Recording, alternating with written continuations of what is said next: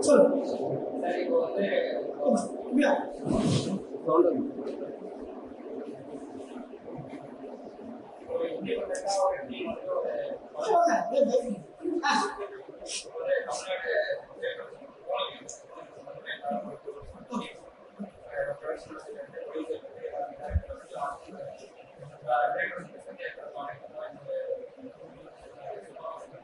எதுவுமே இல்லாம வரீங்க அதுக்கு ஏதாவது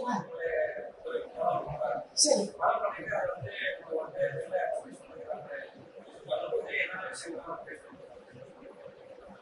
அது வந்து சாத்தியம் இல்லாத ஒரு விஷயம் ஏன்னா அது சொல்லுங்க இப்போ நீங்க என்னுடைய பழக்கம் உங்களுக்கு கிடைச்சிச்சு இப்போ நீங்க என்ன பண்ணுவீங்க பழம் பண்ணும்போது சரக்கு ஐடியா கேட்கும் அப்போ நான் சொல்லுவேன் இப்போ பத்து லட்சம் ரூபாய் உங்களை கொண்டு போய் நான் செலவு எடுத்து வர மாட்டேன் என்ன தேவையோ முதல்ல நீங்க டேரக்டர் என்ன ஜாயின் பண்ணுவீங்கன்னு சொல்லி அசி டேரக்டர் தான் அதுக்கு ஒரு இருபத்தஞ்சாயிரம் ரூபாய் கட்டி ஒரு அசிஸ்டன்ட் டைரக்டர் கார்டு எடுத்துட்டாலே போதுமானது நீங்க டைரக்டர் ஆகும்போது அந்த அசிஸ்டன்ட் டைரக்டர் கார்டு ஆட்டோமேட்டிக்கா டைரக்டர் கார்டாக மாறிடுச்சு.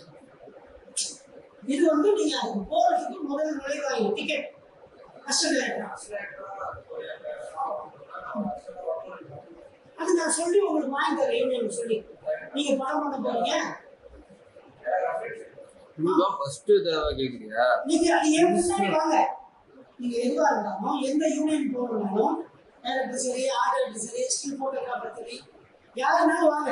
நான் சொல்லி அந்த உங்களுக்கு முதல்ல என்ட்ரன்ஸ் கிளாஸ் போட்டேன். நீங்க அதை வச்சு வளர்த்த முடியும்.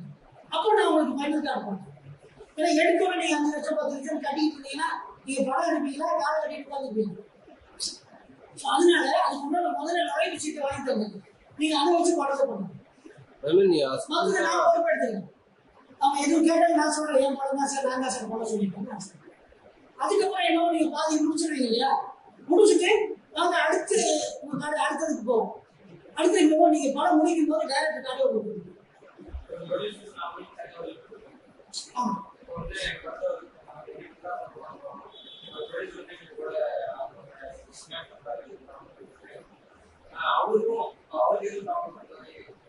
நீங்க ஆமா, ப்ராப்ளம் தான் ஐடி டுவெண்ட்டி தான் பண்ணும்போது ஏன்னா அவர் வந்து மேனேஜர் இல்லாம பண்ண மாட்டார்.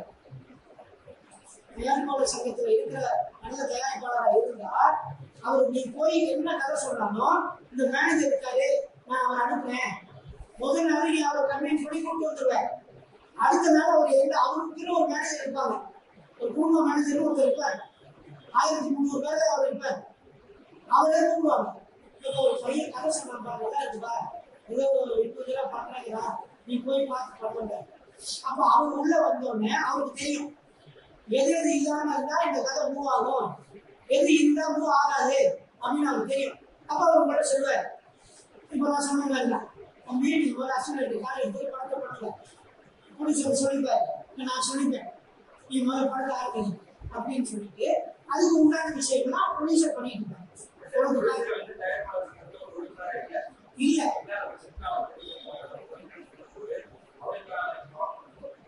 அவர் இல்லாம எப்படி ஜாயின் பண்ண முடியும் எப்படி அது மூவ் ஆகும் இண்டிபெண்டா பண்ணும்போது கூட சில விஷயங்கள் தான் போகும் ஒரு பத்து நாள் யூஸ் போகலாம் அதுக்கப்புறம் அது தேவைப்படும் யூனிட்ல இருந்து எங்க இருந்து கேமரா எடுக்குது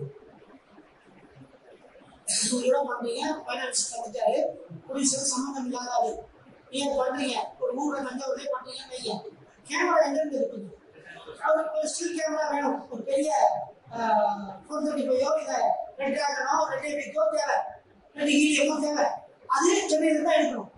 மற்ற கேமரா வைடி கேமரா இங்கே கிடைக்கும். ஸோ நீங்கள் சென்னையில் எடுக்கும்போது அந்த கேமராக்கான கன்சர்ன் கவுன்சிலுக்கோ இதுக்கோ இன்ஃபார்ம் பண்ணுவோம் பெப்சிக்கோ இன்ஃபார்ம் பண்ணுவோம் அப்போ அவங்க முறைப்படி பெப்சிக்கு நம்ம வந்து ஷூட்டிங் வரோம் அப்படின்னா பெப்சியில் வந்து ப்ரொடியூசர் வந்து லெட்டர் கொடுக்கணும். பெப்சியில் வந்து ஒரு இருபத்தி மூணு யூனியன் ஜாயின் பண்ணணும்.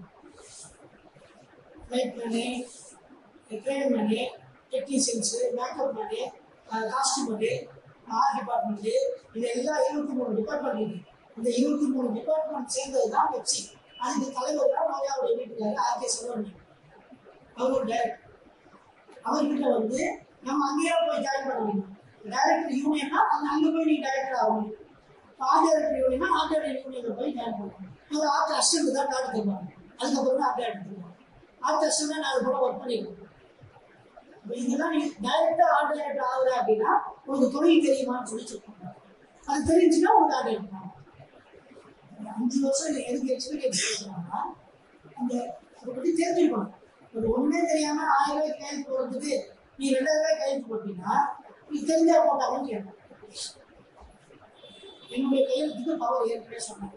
அந்த பவரை யாரும் தவறாக யூஸ் பண்ண நான் வந்து நீங்க இடத்துல கையெழுத்து போட்டேன்னா நான் வேலை தெரியும் என்ன போடுறீங்க கொண்டு வந்து அதை நான் கட் பண்ணுவேன் கையெழுத்து மட்டும்தான் அதை உரிமை வேண்டாம் கட் பண்ண முடியாது.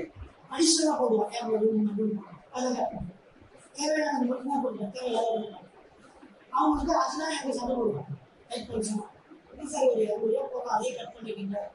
பத்து பேருக்கு ரெண்டாயிரம் ரூபாய் ஆச்சு ஒரு நாளைக்கு ரெண்டாயிரம் ரூபாய் முப்பது ரூபாய் நான் அறுபதாயிரம் அப்போ போலீஸ் பார்க்காரு. ஏன்னா எக்ஸ்ட்ரா போட்டுருக்காங்களா அப்போ நீங்கள் கட் பண்ணிக்கலாம் அப்போ நீங்கள் தான் நீங்களே பாருங்க